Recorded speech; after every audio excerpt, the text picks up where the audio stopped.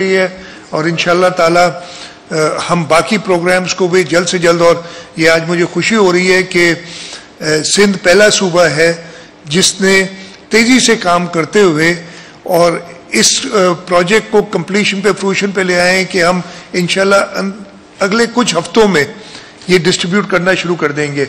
इस वक्त जो हम सिस्टम्स दे रहे हैं, उससे एक पंखा, तीन बल्ब और एक बैटरी जो मोबाइल वगैरह चार्ज करने के लिए काम आएगी, ये एक सिस्टम हम हर घर में दे रहे हैं और मुझे पूरी उम्मीद है जो इस वक्त बिजली का बहरान है और बिजली के बिलों का बहरान है।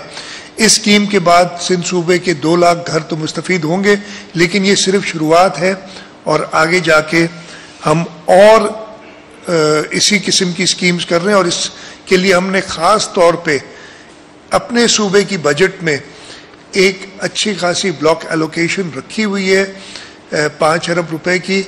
और इसके साथ साथ हम इंटरनेशनल एजेंसी से भी ग्रीन क्लाइमेट फंड से बात कर रहे हैं, हम बाकी डोनर एजेंसी से बात कर रहे हैं।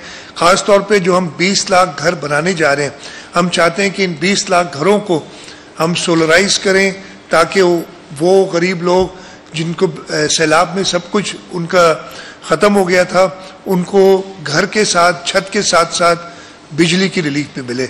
मैं एक बार फिर शुक्रगुजार हूँ।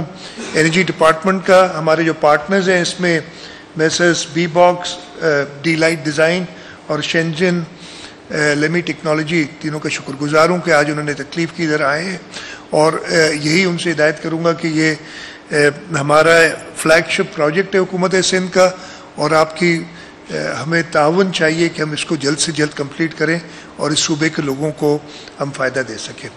आप सबका बहुत शुक्रिया। पाकिस्तान जिंदाबाद।